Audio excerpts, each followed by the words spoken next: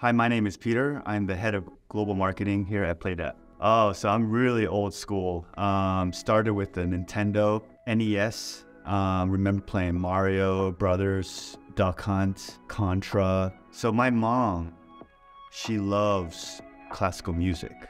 That's how I started playing violin. But she hates games. She hates so, and she hates TV and all that stuff. So she threw away the TV when I was young. And my best friend growing up, Josh, he had a, a, Nintendo, and I would go to his house all the time to go play Nintendo. So I've seen how games have grown. They're definitely better, you know, in, in every way. I, I think a lot of gamers can can relate to this. A, a bad thing is is that um, they have really turned they monetized it too much. So, for example, a few years ago, you could pay up until a few years ago, you know, for a PlayStation 3 game, you could go to used store you know, you could go to GameStop, buy a used game, sell it back, you know, and keep buying used games and selling it back. You could do that. Now everything is downloadable, so you can't really buy a used game anymore. Play to earn games, I think. I what I in my opinion, what play to earn games is is is an evolution of of the next evolution of gaming. Um, I believe that the game industry has led innovation in in every step of the way. So, for example, just five, ten years ago, uh, free to play. And there was this big battle between, oh, free to play is going to ruin our industry.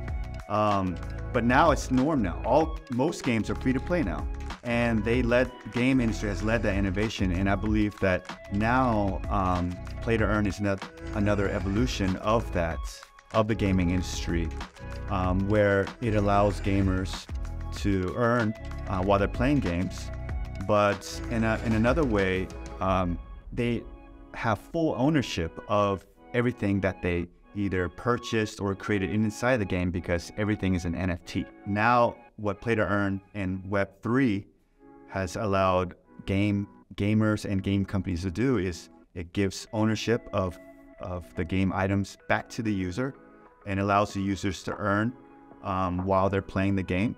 I really wish I went to G-Star when I was young um, or when I was a really hardcore gamer. Uh, I would have loved. I mean, I still love it now. I mean, it's still fun to see all the all the new games and and cosplaying stuff, and it's it's really cool. But if I was maybe 20 years younger, I would have loved it a lot more. G-Star's consumer is awesome because if you're a gamer, you know, you know, you're already a fan of the game studios, so you're always you're following them. You, have seen their teasers. Maybe you sign up for the pre-registrations. Maybe you you you're already in the community and and you're they've already started pre-marketing up until the point, and then they announce or they show the trailer or something. I mean, it's it's it's huge for for a gamer. As a professional in the game industry, G-Star, well, it's different for for for us is because because we're in the blockchain industry, we are looking for um, a lot of new advertising partners to grow our community. Um, so it was nice to meet with our current advertising partners to see what new ad products they had or what new um, opportunities they could give us to grow our community in different countries um, or to use uh, or to optimize our campaigns to, to get better performance. And it's nice to, to, to meet with other game companies at, at the networking meetings to hear about how they are transitioning or how, how they've already transitioned to Web3 and um, how they've turned their games into play to earn or play to own. It's another thing that, that people are, are tossing around these days. It's, it's not play to earn, it's play to own. You play and you can own different items, own the characters. Um, so the play to earn, play to own, play to own, these are all different evolutions of what's happening right now.